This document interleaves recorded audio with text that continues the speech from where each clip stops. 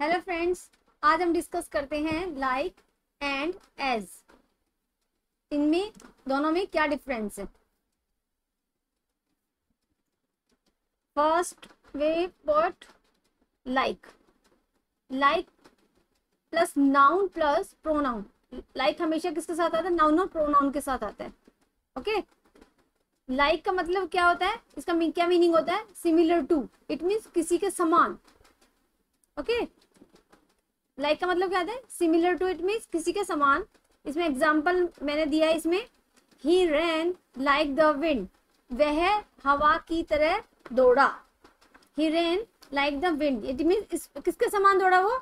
हवा की तरह. कौन? He okay yes second like आपका किसमें और यूज़ होता है? कंपेयर कंपेयर अपियरेंसेस कभी किसी साथ जब हम कंपेयर करते हैं इट मीन तुलना की जाती है. जब हम किसी साथ तुलना करते हैं तो उसके साथ आपका आता है लाइक ओके जैसे इसमें एग्ज़ाम्पल है इसमें this house look like a castle it means इस घर की घर की तुलना, घर की तुलना हमने किस, किससे की है? लाइक अ कैसल यानी किले से. Okay okay? तो इनमें क्या आएगा? इट मीन्स सिमिलर टू यानी किसी के साथ, किसी के समानता हो तो आपको इसमें लाइक आएगा. एंड किसी के साथ जब तुलना होती है तो उनमें आपका लाइक आप उसको पुट कर सकते हो। ठीक है? Now as as okay as plus noun as plus noun आता है ओके okay? जैसे एज ये है एंड नाउन आपका सोशल वर्कर ठीक है? एज का मतलब क्या होता है?